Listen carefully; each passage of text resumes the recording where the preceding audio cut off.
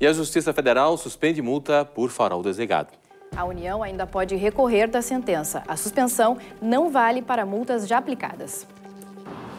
A determinação da Justiça, que dispensa o uso dos faróis durante o dia, só vale para rodovias que não possuem sinalização avisando da necessidade.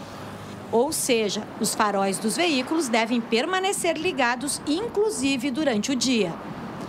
No Rio Grande do Sul, a única rodovia que tem sinalização específica para o uso de faróis durante o dia é a Freeway. Nas demais rodovias, portanto, os motoristas não podem ser multados por isso.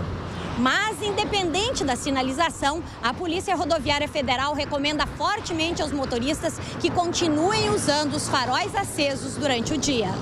O farol aceso, desde que a lei entrou em vigor, ajudou-nos a reduzir os acidentes graves durante o dia. Em torno de 20% menos mortes e acidentes graves, como atropelamentos ou colisões frontais, ocorreram nesse período. Ou seja, o farol está contribuindo, o farol aceso durante o dia, para essa redução significativa das mortes.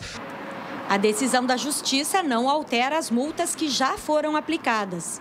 O descumprimento da lei nas rodovias sinalizadas é considerado infração média, com quatro pontos na carteira e multa de R$ 85,13.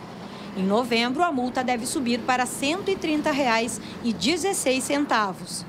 O DENIT está providenciando a sinalização das rodovias sobre o uso de faróis durante o dia. A conclusão da tarefa não tem data marcada.